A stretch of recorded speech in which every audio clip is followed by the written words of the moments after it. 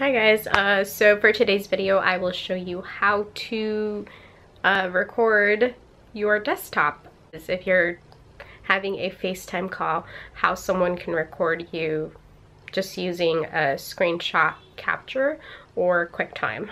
So the first thing you have to do is locate your QuickTime player and once you have your QuickTime player open, uh, it's very, very simple. This here is your QuickTime player and once you have your QuickTime player open all you have to do is go file new screen recording. Then you get this little box and what you do is you just hit this little record button. You'll see this and just click and it'll go away and you're recording. So this little thing indicates that the screen is being recorded. To stop recording you click on that and then you'll see your screen recording pop up like that and you can save it to wherever you'd like. So as you can see, uh, this is connecting and it's just very slow because my computer is super slow, but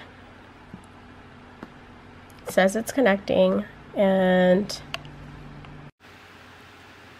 so this is the video that was taken, uh, just that my computer is very slow and. So that's how it works.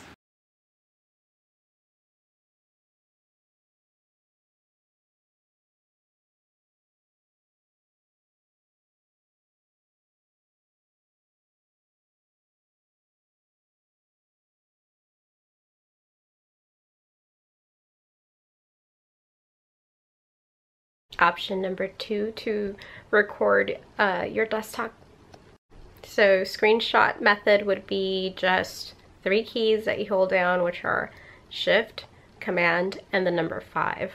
And this should prompt you to be able to uh, record the whole screen.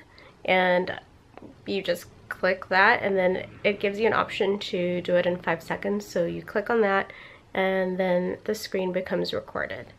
And I'll show you a little snippet of that.